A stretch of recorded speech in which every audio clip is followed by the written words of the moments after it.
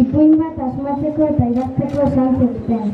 Guk, Lazkao txiki hartu genuen gai, eta ideiak botatzen hasi ginen. Bat, besteak bestea, ipuina osatu arte. Gero guk idatzitako liburua marrazkilari bati bidali genion, Ainara azpiazu adurizi. Ainara, egun batean, udaliburutegira bizitan etorri zitzaigun, marrazkiak egin zituen, ipuina ilustratu zuen. Berak egin zituen marrazkia, baina guk esan genuen nolakoa nahi genituen. Adibidez, guk idatzitako ipuinan ezen txakurrik azaltzen, baina galdetu zigun, eta txakurtxo bat atzatzea nahi genuen, eta baiet esan genuen. Gero, Ainarak bere etxeko ordenagailuan egin zituen, marrazkiak e, txukun txukun eta imprimagailuan dotore imprimi. Horein esan dezakegu idazleak garela, oso pozik gaude.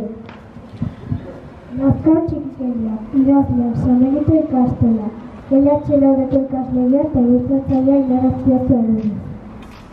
Legaire, Beñat, Pablo, Inaz, Naroa, Manes, Paxe, Lago, Intza, Keila, Adrián, David, Joanes, Jaime, Sara, Unai, Victoria, Maider, Roger, Ekan, Daniel eta ni. Gure guztutxi batean, las...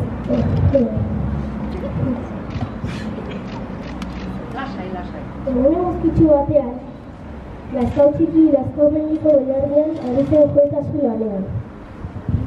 Betede asko zituen, baina eskabutik talde bat ikusi bezain azkar atxurra bota eta ziztu dizkian beraien gana joan zuen. Txisteak eta bertsoak asmatzen hasi ziren elkarren. Festa izugarria sortzen ari zela lehiora begiratu eta ama be, begira zuela ikusi zuen. Ene, ene, utzi egin behar zaituztet, aio, esan zuen besoak burura eraman. Isil isilik makurtu, atxura berriro hartu eta lane, lanen ari zenaren itxura egiten hasi zen.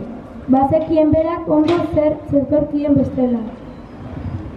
Mila datzilen baita seiko irailaren akabosteak jaiozen Lazkao.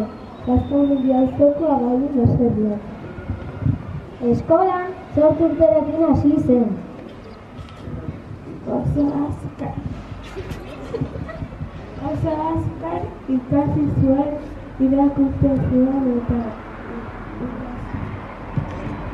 Bertsolariak lehen aldiz bederatzi urterekin ikusi zituen, zepai eta urkapide hain zuten.